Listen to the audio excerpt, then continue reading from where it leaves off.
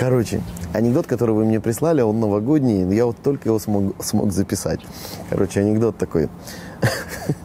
Актриса такая в театре под Снегурочку гримируется, она уже такая, лет там 45, такая, бабища такая, и такая, маленькой елочки холодно зимой. Доходит до слов такая, весело, весело.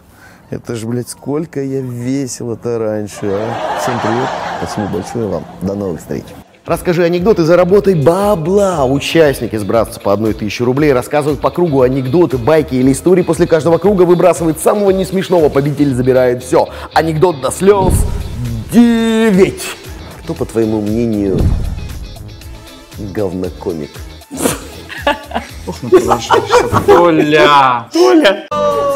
Анекдот от баклажана, ба-ба-ба.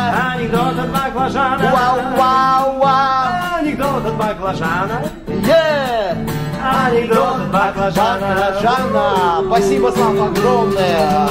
Вячеслав Мясников сегодня и всегда. Спасибо за все, за чувство юмора и удивительную улыбку. Классный канал.